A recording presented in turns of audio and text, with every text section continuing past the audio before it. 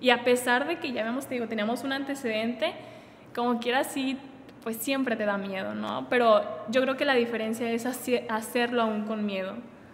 Teníamos que pagar, pues, te digo, las rentas de un lugar que no estaba produciendo. Aparte las otras rentas, tanto de la tienda como de lo demás. Entonces fue como, ¿y ahora cómo le vamos a hacer para pagar? Sin dinero, sin, nada. Sin dinero. Entonces, esa semana la tienda vendió como nunca. Las, ellas estuvieron trabajando conmigo desde que abrimos, incluso estuvieron en la inauguración y hasta la fecha, pues para mí también son una bendición muy grande, ¿no? O sea, las personas que, que trabajan con nosotros también, pues son parte ya de la familia o es parte de mi equipo, entonces son una bendición muy grande también porque pues ellas también son la cara de, de la clínica, ¿no? Entonces forman parte de también. El, hecho de la recomendación de boca a boca siempre va a ser de eso depende si tu paciente va a regresar, si no va a regresar, si va a regresar su vecina, su hermana, su lo que sea. Entonces, pues yo creo que también eso es muy importante y básico en eso. Vender eh, lo que tú puedes darle al mundo, lo que tú puedes darle a una persona, lo que tú tienes para ofrecer, eso positivo que tienes. Yo creo que en esta vida todos, todos tenemos que vendernos o todos nos vendemos. Hola, ¿qué tal? Bienvenidos a un programa más de Empiria Podcast para Emprendedores. El día de hoy tenemos a una invitada muy especial. Ella es Cristina Ríos, fundadora de The Yellow Clinic y cofundadora de La Naranja Black, que ya lo tuvimos en un programa pasado, y también cofundadora de la Herrería 77. Espíritu emprendedor 100%. Quédense con nosotros. Esto es Empiria, Podcast para Emprendedores. Comenzamos.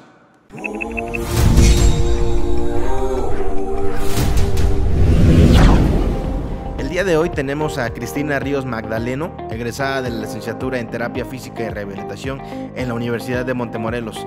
Ha tomado cursos especializados en lesiones musculares, aparatología para el cuidado de la belleza y su experiencia como emprendedora en la cofundación de la Naranja Black la ha llevado a crear The Yellow Clinic, una clínica especializada en rehabilitación, belleza y tratamientos geriátricos.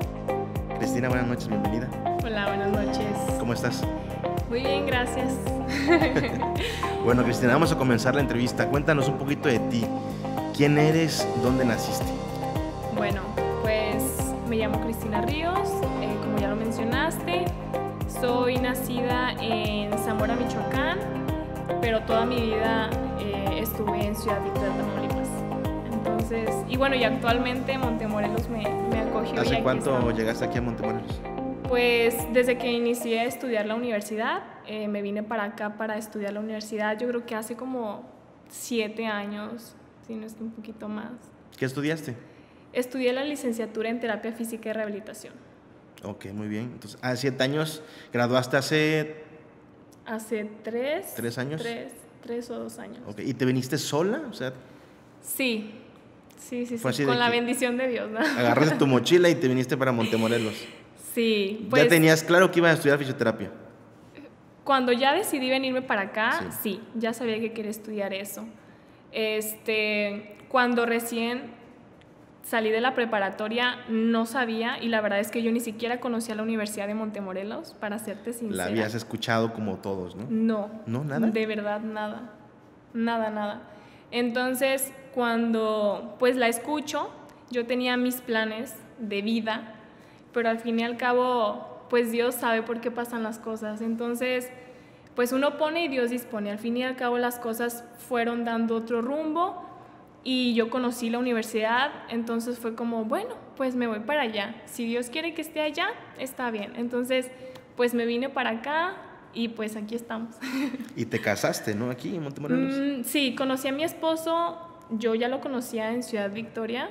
Este, pero yo me vine para acá y después de dos años o tres, él se vino a estudiar la maestría.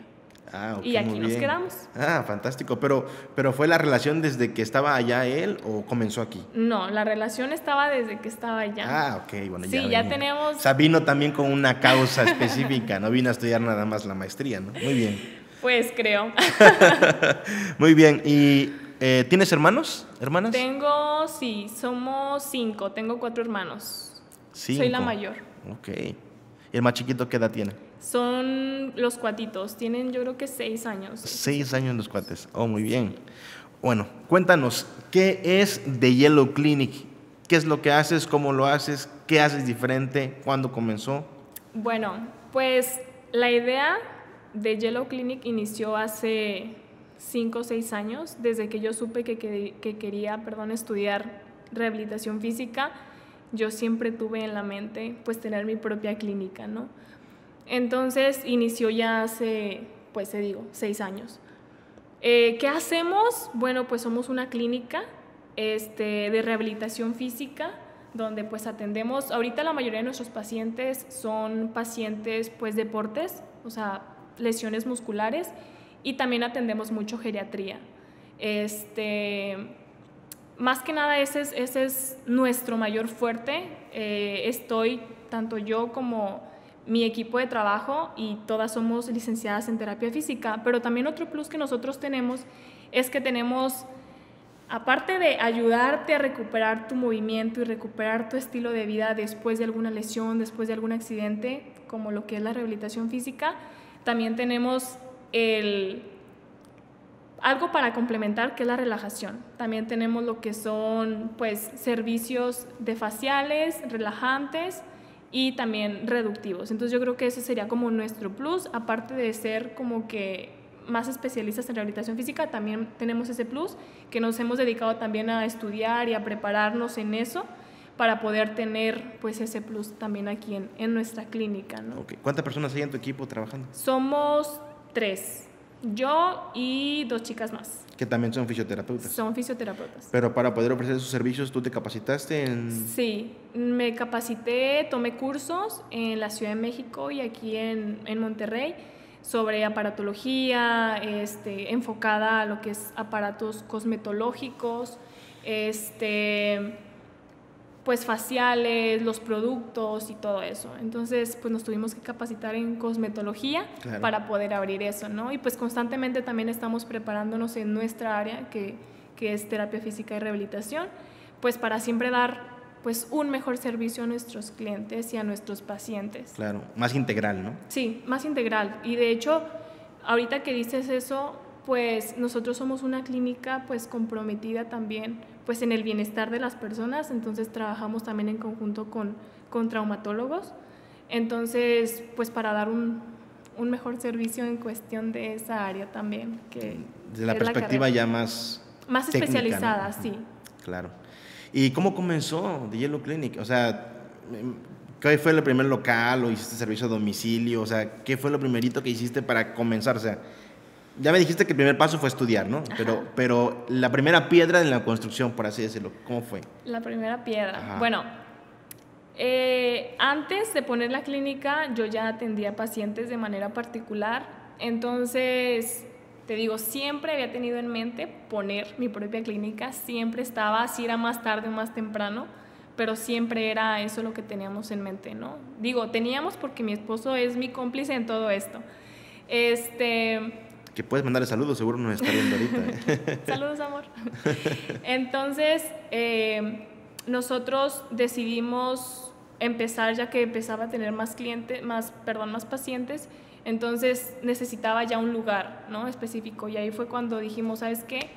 Ya, o sea, tenemos que perder el miedo porque aunque ya habíamos tenido el antecedente con nuestro otro negocio, que es la Naranja Black, y gracias a Dios pues nos ha bendecido mucho, de verdad que Dios ha sido muy grande. Eh, como quiera, el hecho de empezar algo nuevo, porque era algo totalmente diferente. Clientes diferentes, o sea, todo cambia. Todo, todo era diferente.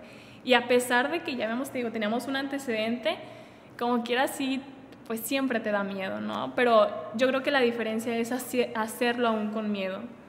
Porque pues yo creo que es normal que a todos nos dé miedo siempre empezar algo nuevo, pero Creo que la diferencia es verlo como un reto y trabajar en eso y aventarte. Tenemos que aventarnos. Y nos aventamos, nosotros pasábamos todos los días por unos locales que nos gustaban, pero siempre estaban ocupados. Entonces decíamos, no, pues no hemos encontrado, no hemos encontrado, bueno, quizá no es nuestro momento. Y una vez estábamos en el centro en la noche y no sé, se nos dio por pasar y pasamos y estaban desocupados. Y al día siguiente tempranito fuimos y hablamos y con toda la fe del mundo rentamos. ¿Qué pasa después? el COVID y pasa la pandemia. ¡Wow! Hay muchísimos casos así de personas que iniciaron cuando esto comenzó. O sea, miles, millones perdieron todo al inicio de la pandemia. O sea, millones de personas. ¿eh? Este caso es un caso puntual de, de qué se debe hacer porque tú sigues ahorita con la clínica, ¿no? Sí. Bueno, ¿qué, qué hicieron en ese tiempo de COVID?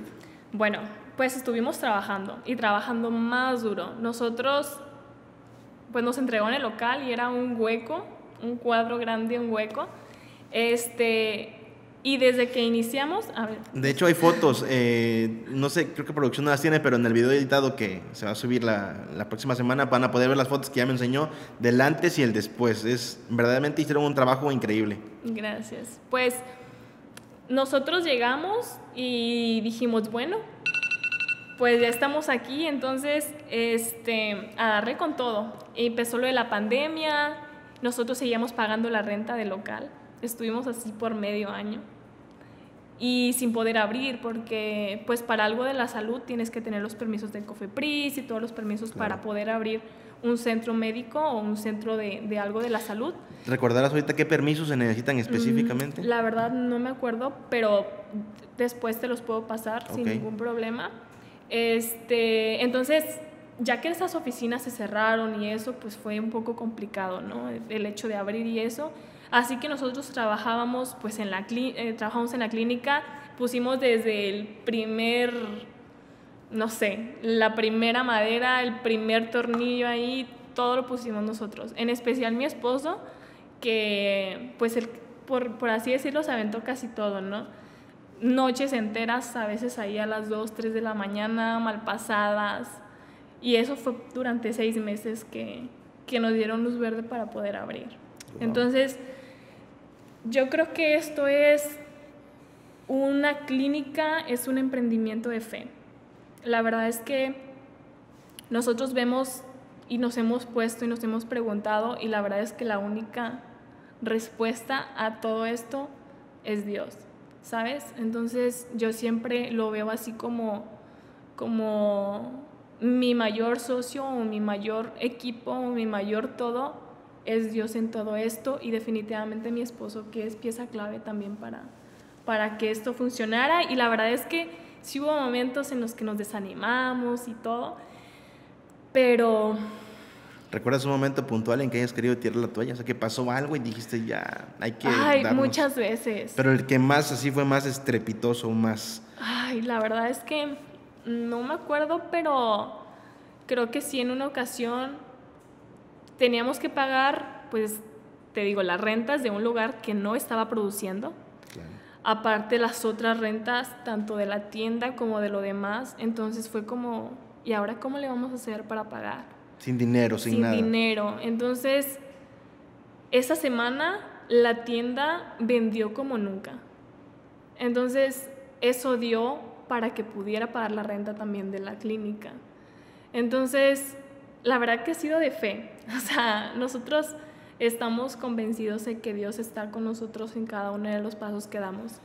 Entonces, pues sí, es uno de los ejemplos en los que sí nos agüitábamos y nos sentíamos tristes, pero decíamos, bueno, si Dios está de nuestra parte y está de nuestro lado, venga, sí podemos. Y tanto Él me animaba como yo lo animaba y hasta que pudimos abrir. Y el día que abrimos, de hecho, fue una nostalgia, terminamos todo. Y un día antes estábamos los dos en la clínica, acostados, y fue como que ah, lo logramos.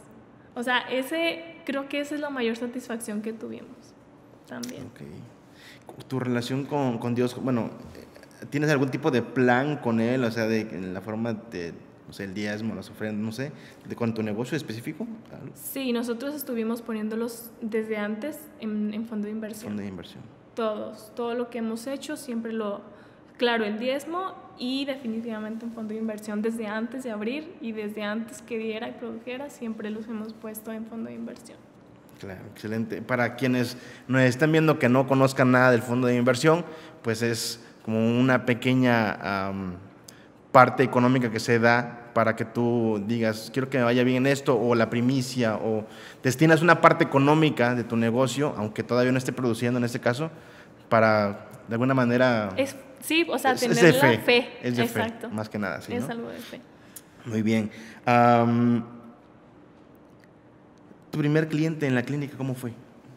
Mi primer cliente o paciente, Paciente en este caso. claro. bueno, que fue a la clínica o que yo haya tenido de manera personal. Creo que, Que yo lo tuve, que yo lo tomé como mi primer paciente o tu primer paciente. mi primer paciente. Bueno, me acuerdo que en una materia, en la materia de geriatría, eh, nos dejaron un trabajo que era tener un paciente geriátrico.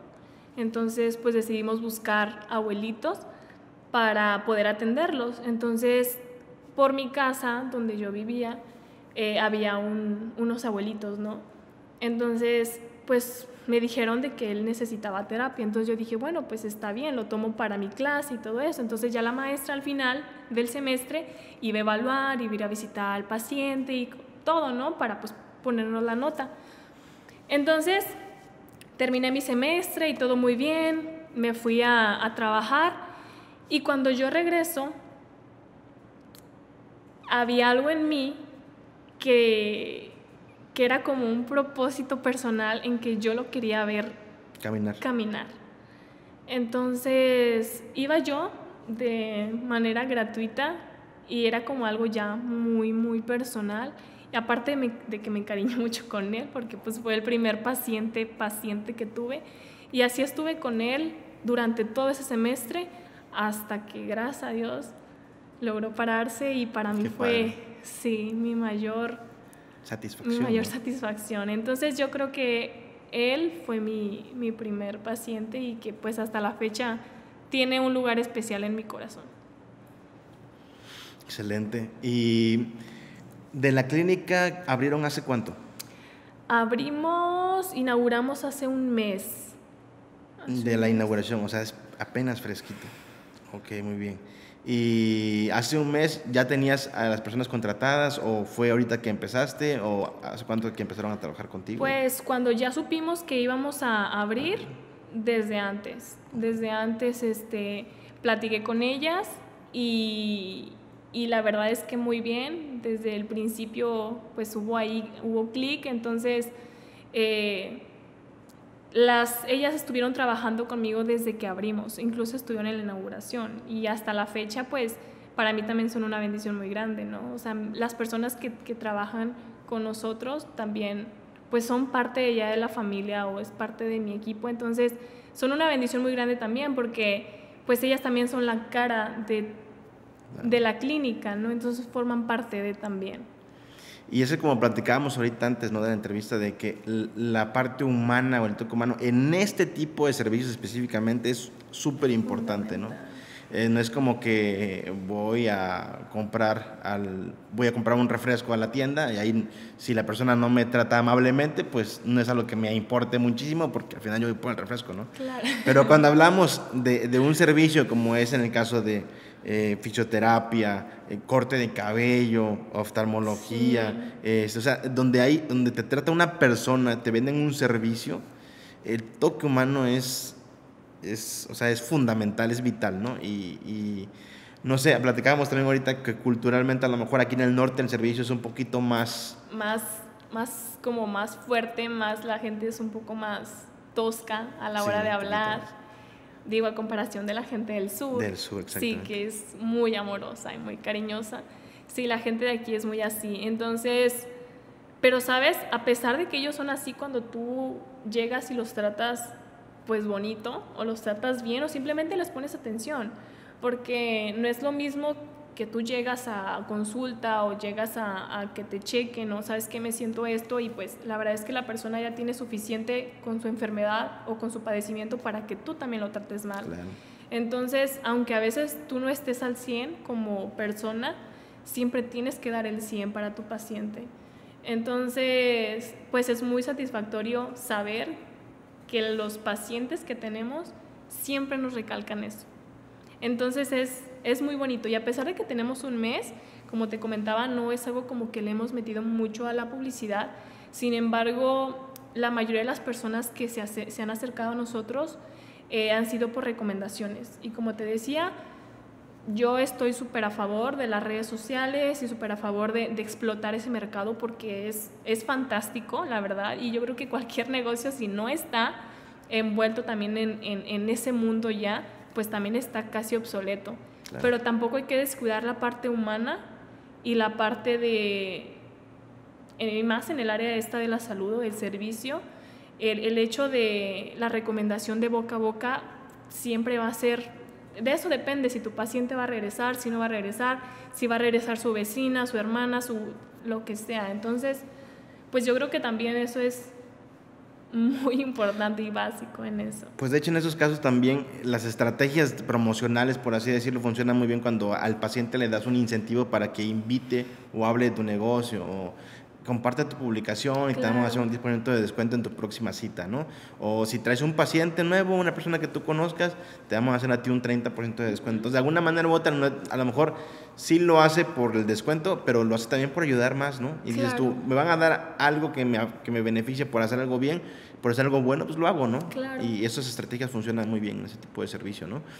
Comentábamos ahorita también de que, o sea, tú estudiaste fisioterapia, has tomado cursos extra en cuanto a la parte del, de, aprender a hacer faciales, de la parte de la belleza, ¿no? Em, ¿Qué otra habilidad consideras que es fundamental para un emprendedor? O sea, como, ¿qué, ¿qué, dices tú? Sin esta habilidad no podría haber estado donde estoy, que no sea de lo que tú ya haces como fisioterapeuta. Pues yo creo que el saber venderte.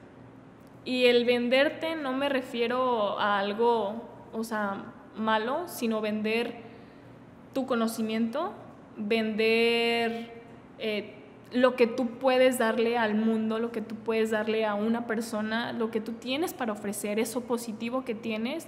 Yo creo que en esta vida todos, todos tenemos que vendernos o todos nos vendemos. O sea, seas un profesional de la salud y no te gusten las ventas, tienes que aprender a que tienes que venderte también como profesional. Seguramente si eres muy bueno en algo, seguramente vas a ser muy exitoso, sí, pero si sabes venderte, seguramente ese proceso va a ser mucho más rápido y seguramente te puede ir hasta mejor. Claro. Entonces, tienes que vender todo, tanto tu imagen, tienes que vender eh, tú, o sea, más que nada tu esencia. ¿No? Entonces, yo creo que algo que yo aprendí durante toda mi carrera, que probablemente no fue pues en el área de que estudié, sino fue en otras aptitudes que tuve en la universidad, eh, fue el, el, arte de la venta, el arte de vender, este, y el contacto humano también con las personas, que creo que sí es muy importante pues creo que a la mayoría nos da mucha, a veces nos da vergüenza, ¿no? Vender, podríamos decirlo, ¿no? Pero entonces tú nos invitas a que no debemos tener esa vergüenza porque si no, tener éxito va a costarnos más, ¿no? Pues probablemente lo vas a hacer, sí, pero quizá se te vaya a facilitar un poco más.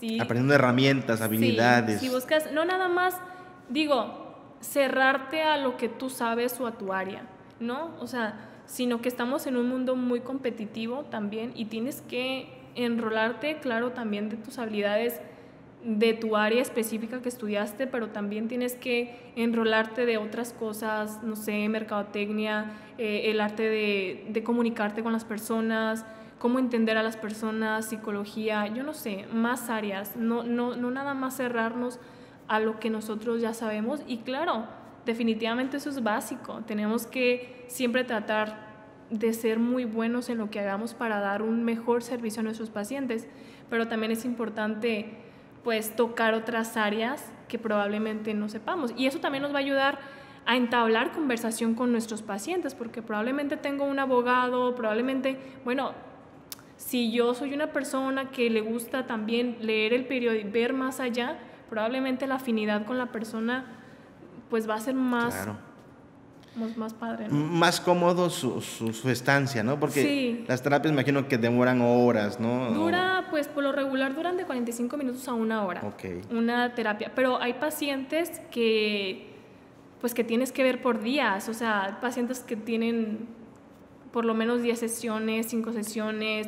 O hay pacientes que llevas de toda la vida. Pacientes neurológicos que han tenido, no sé, algún, alguna embolia mejor conocida, Este, son pacientes que por lo regular ves más tiempo. Entonces, pues sí, o sea, tanto el trato con el paciente, pues eso es, eso es muy importante.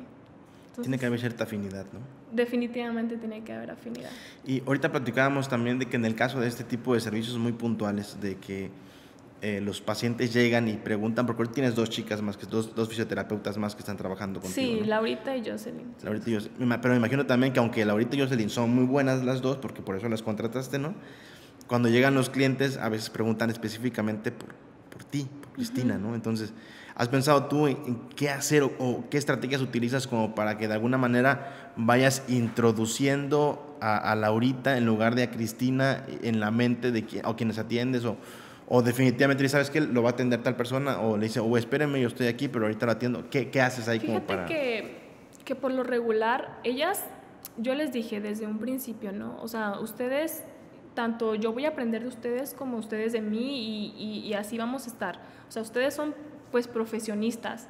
Entonces, ustedes tienen la capacidad de atender a un paciente. De igual manera hay pacientes que a veces se ponen un poco más así y de que tú lo atiendes y, y no tengo ningún problema, ¿no? Porque hay pacientes que sí son de que muy como que... Son tus pacientes, ¿no? No, o sea, son muy de que quiero una persona así, así, así. Ah, ok, ok. Entonces, eh, ya nos tocó con uno, ¿no? De que, bueno, y quiero una persona que, que, y ustedes no hacen esto, y ustedes no truenan, y ustedes, porque la vez pasada me truenaron y casi, entonces, es de que no, mira, aquí venimos, lo vamos a evaluar, este, vamos a hacer las pruebas necesarias para diagnosticar y sobre eso tratarlo, bla, bla, bla, bla, bla. Entonces, desde que llega una persona, si yo ya tengo algún paciente, eh, cualquiera de las dos está capacitada para atenderlo. Entonces es cierto que a veces tú ya tienes tus pacientes y tus pacientes solamente tú los atiendes y eso es de ley. O sea, si ellas ya tienen un paciente, ellas lo atienden desde el inicio hasta el final, a menos de que, no sé, haya algún caso ahí externo en el que tenga que entrar otra persona, pero por lo regular el vínculo se crea desde el inicio, ¿no? Entonces, las dos son unas chicas muy amables y la verdad es que muy profesionales, entonces no he tenido ningún problema en eso de, de no, pero sí hay pacientes que pues ya están contigo y pues solo quieren contigo y así, y es, yo creo que eso es como en todo. Ok, muy bien. Em, ¿Podrías hablarnos un poquito más de, de cómo, cómo, le hacen ahí para buscar la inspiración? Porque me contabas que tu esposo es tu aliado, ¿no? Tu esposo, ahí ahorita tienen, aparte de, de, de Yellow Clinic, tienen a la herrería y tienen a la Naranja Black, ¿no? ¿Cómo llevan ahí la parte? Porque podríamos pensar que son a lo mejor bastantes negocios. ¿Cómo, cómo lo llevan? ¿Cómo administran su tiempo? ¿Cómo, ¿Cómo estás aquí, luego acá? y ¿Cómo lo llevas esa parte? Pues mira, realmente mi esposo está de lleno en, en, lo de la herrería. O sea, él completamente está en eso. Yo estoy completamente en lo de la clínica, pues es mi área. Sin embargo, no hemos descuidado, pues ahora sí que nuestro primer bebé, que es la naranja, que fue nuestro primer negocio y nuestro primer emprendimiento. Entonces, tanto mm, mi esposo le mete todo lo que tiene que ver con redes sociales y marketing y eso, ¿no? Entonces, también pues estoy yo, ¿no? Ahí donde, donde entro, también publicaciones, fotos y de igual manera hay una persona que también es de nuestra entera confianza que está ahora sí que en la tienda. De igual, de igual manera mi esposo siempre está al pendiente o yo cuando yo tengo oportunidad, pero ya que está un poco más encaminada la tienda, ya es como que un, un más fácil soltarla ahorita estos dos emprendimientos que son más recientes. Entonces, la verdad es que pues nos turnamos y es desde levantarte pues un poco más temprano y acostarte un poco más tarde para hacer todo, pero, pero sí, o sea, yo creo que realmente a veces cuando escuchas de que cuando emprendes es para estar más tranquilo y tener una vida más relax, yo creo que no, o sea, y yo creo que nunca se va a terminar y, y nosotros siempre estamos 3 de la mañana y, oye, ¿sabes qué se me ocurrió esto? Y es de que, ah, sí, sí, sí, sí, se me hace bien y mira con esto. Así, así somos. Entonces nos complementamos bien y nos entendemos bien. Pero, pero sí, hemos tratado siempre de llevar un equilibrio de tanto en nuestra vida personal, no descuidar esa parte, pero pues también darle el tiempo necesario a nuestros negocios. Hay veces que pues puede llegar él un poco más tarde por estar trabajando, a veces yo me quedo más por algún paciente, pero siempre tratamos de cenar juntos o, o vernos y contarnos cómo te fue, cómo me fue. Entonces creo que también la comunicación entre nosotros pues es algo que no, no descuidamos y pues también nos ayuda a mantener nuestros negocios pues como están, ¿no? Y pues con la ayuda de Dios como más fuertes, porque también siempre estamos complementando y con ideas y cómo podemos mejorar pues cualquiera de los de los, tres, ¿no? de los negocios. Si pudieras volver en el tiempo siete años, que fue cuando llegaste aquí a Montemorelos, se te abriera un portal así, una ventana del tiempo, y pudieras ver a la Cristina siete años más joven de frente a ti, con toda la atención del mundo hacia ti, y pudieras decirle únicamente una frase, un consejo, ¿qué le dirías a esa Cristina siete años más joven? Que siga adelante, que no se va a arrepentir. Excelente. Eso. Y sabes, algo que, que también le diría es que a veces en este camino de, del emprendimiento, es muy padre cuando ya tienes todo, pero el sacrificio que uno hace detrás de eso muy pocas personas lo saben y muy pocas personas lo ven. Entonces yo creo que es súper importante rodearte de personas que tengan tus mismas aspiraciones, que puedan probablemente entenderte en tus momentos de ideas o así. Y también le diría que hay muchas personas que, que probablemente pues te van a, desilusionar y personas que tú no creías que te van a desilusionar cuando tú les digas tus planes y te digan, no, es que no se va a poder, es que no. Le diría justamente que hiciera lo mismo, que no hiciera caso y que siguiera adelante. Con tus objetivos. Sí, sí, sí, porque, claro, que ese mismo, esas mismas personas también te ayudan a ser lo que eres y te dan esa fortaleza, ¿no? Pero pues en su momento sí sí tienes muchas decepciones, la verdad. Más porque a veces esperas que esas personas, pues, no sé, o sea, como que se sientan felices por ti, a veces no pasa, entonces ahí es donde el camino a veces se vuelve un poco más solitario en la vida del emprendimiento, pero a la misma vez no, porque te hace ver realmente las personas que están contigo y las personas que, que les hace feliz tu felicidad. Entonces, creo que es un filtro Creo que es un filtro. Creo que es un filtro para saber la calidad de las personas que tienes. Excelente. Cristina, ¿dónde te encontramos? ¿Redes sociales? En redes sociales estamos como The Yellow Clinic. Pues, en Instagram y en Facebook. The Yellow Clinic en Instagram y en Facebook. Fisioterapeuta en Montemorelos, ubicada en